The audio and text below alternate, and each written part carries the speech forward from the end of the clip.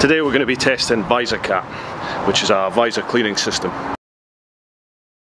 And once it gets into the winter with it's proper gritty with all the crap off the roads, and then into the summer with all the beasties that you get, this thing, this VisorCat, I think it could come into its own now. That is brilliant. Wow, crystal clear.